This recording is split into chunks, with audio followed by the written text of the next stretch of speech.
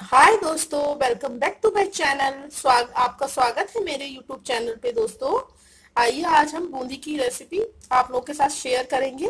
तो चलते हैं बेसन की रस भरी बूंदी, रस से भरी टेस्टी टेस्टी मीठी। आप लोग बना के देखिएगा मेरे तरीके से, जिस तरह से मैंने बनाई दोस्तों। ये देखिए, बहुत टेस्टी है।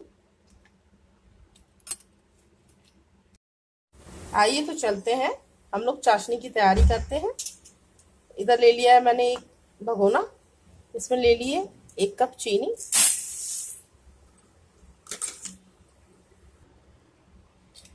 आधा कप ले लिया है पानी, ताकि चाशनी हमारी जल्दी बन जाए। इधर हम लोग गैस पे चढ़ा देंगे इसको और इसको पकने देंगे स्लो। इधर ले लिया एक बाउल। बाउल में हम दो चम्मच बेसन निकाल लेंगे।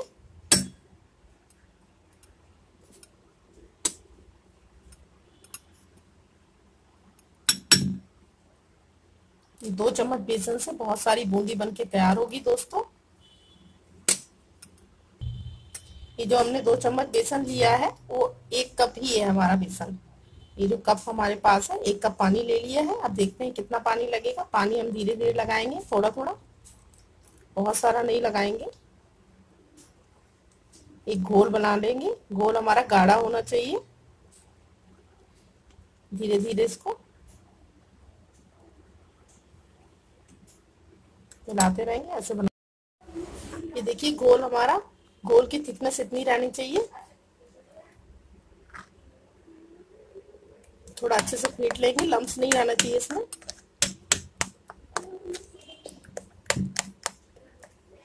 बस इस तरह से इसका घोल बन जाना चाहिए। थोड़ी देर रख देंगे तो फूल जाएगा अच्छे से तो बूंदी हमारी अच्छी बनेगी।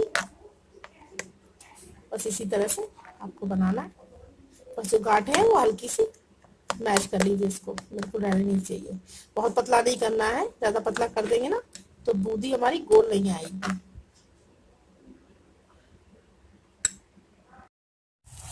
मैंने कहा दोस्तों, फ़ूड कलर नहीं डालना है।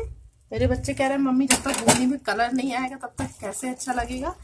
तो देखिए, मैंने एक मतलब तरीका निकाला कि जो हम खाने में, खाना में हल्दी खाते हैं हल्दी हमारे स्वास्थ्य के लिए अच्छी होती है एंटीसेप्टिक होती है तो उसका फ्लेवर जिस तरह से दाल में लगता है, उसी तरह से किसी में पता नहीं चलता है कि हमने हल्दी डाली है, बस कलर का होता है। देखिए मैंने इसमें दो तो चुटकी हल्दी डाल दी है। जैसा कि दिखाया मैंने, इलायची भी डाल दी है इसमें थोड़ी सी चाशनी हमारी पक गई है। दोस्तों, आप लोग ये मत सोचिएगा, मैंने स्किप कर दी मेरी वीडियो मुझसे कैमरा ऑन नहीं हो पाया ये चाशनी बनाते समय। तो ये वाली वीडियो इसमें क्लिप रिकॉर्ड नहीं हो पाई है। इसके लिए सॉरी चाहती हूँ दोस्तों। बस दो चुटकी हल्दी इसमें डाल दीजिए। देखिए कितना अच्छा कलर आ गया इसमें। तो देखिए दोस्तों, येलो कलर आ गया। पता भी नहीं चल रही कि हल्दी डाली कि कलर डाला है। बहुत बहुत बहुत। मतलब आप ये हल्दी का कलर, हल्दी आपको डालते समय लगेगा कि अरे ये हमने क्या किया, लेकिन नहीं। इससे कलर अच्छा आता है। टेस्ट में भी कोई अंतर नहीं आएगा। बताइए अच्छा खासा घर पे आप, अगर आप लोग के पास कलर ना हो, फ़ूड कलर ना हो, ना यूज़ करते हो तो आप दो चुटकी हल्दी डाल के देखिएगा दोस्तों, आपकी चाशनी में। रौनक बढ़ जाएगी, बूंदी कलरफुल बन जाएगी जो बच्चों को अच्छी लगेगी देखने में। इधर हमारा तेल गर्म हो गया है। देखिए, मैंने बेसन की एक बूंद डाली थी, वो मेरी गर्म होने के बाद पता चल रही किस तरह से हो गई है। देखिए, गैस मैंने फ्लेम लो कर दी है। इधर देखिए दोस्तों, हमने ले लिया है, ये जो कटछुल होती है, इस पे छेद होते हैं, बड़े हैं थोड़े। और इसमें जो होल है दिखाई दे रहा है, आपको देखिए दोस्तों, इसमें छोटे हैं।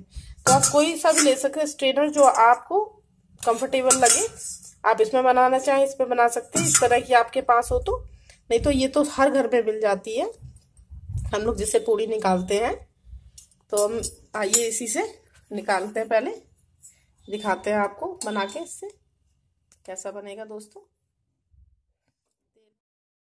देखिए दोस्तों, मैं एक बार डाल के निकाल चुकी हूँ बूंदी। लेकिन आप लोगों को दिखाती हूँ।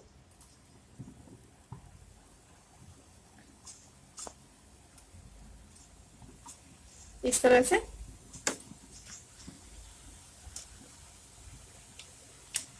ऐसे धीरे धीरे धीरे धीरे थोड़ा थोड़ा, दो दो चम्मच करके डालिए गोल गोल बूंदी निकल रही है। सारी बूंदी इसी तरह से तैयार कर लेंगे।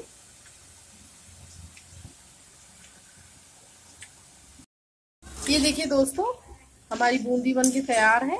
इस तरह से गोल्डन ब्राउन हो जाए हल्की हल्की। बहुत ज़्यादा लाल नहीं करनी है। अच्छा कलर आ गया हमारी बूंदी में। और चाशनी भी हल्की गुनगुनी हो, तभी उसमें डालिएगा। ये देखिए दोस्तों, मैंने चाश बूंदी इसमें पलट ली है। इसमें क्या करेंगे हम? इसी में चाशनी डाल देंगे।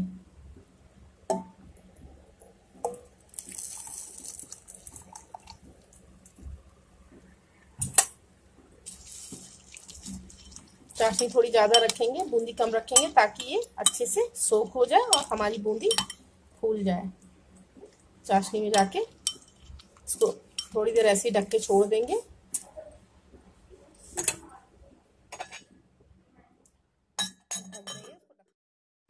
ये देखिए दोस्तों, हमारी बूंदी ने अच्छे से चाशनी को पी लिया है। देखिए, पूरी तरह से अच्छे से फूल गई है। ये देखिए एक एक बूंदी अच्छे से भर गया रस।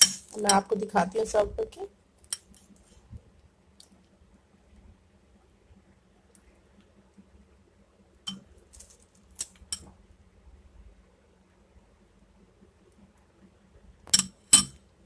देखिए। बूंदी हमारी कितनी अच्छे से बनी, अच्छी बनी है। मतलब अच्छे से फूल गई है। इसका मतलब ये देखिए दोस्तों। अगर ये मेरी वीडियो जरा सी भी आपको अच्छी लगी हो तो प्लीज़ लाइक, शेयर, सब्सक्राइब ज़रूर करिएगा दोस्तों। आपका सपोर्ट मेरे लिए बहुत मायने रखता है। और ऐसी अच्छी अच्छी वीडियो मैं आप लोगों के लिए लाती रहूँगी। नीचे दी हुई मेरी बेल आइकन के बटन को प्रेस करना मत भूलिएगा दोस्तों, ताकि हर वीडियो की नोटिफिकेशन आप लोगों को मिलती रहे। बताइएगा मेरी वीडियो आप लोगों को कैसी लगी कमेंट बॉक्स में। थैंक यू दोस्तों बाय बाय दोस्तों।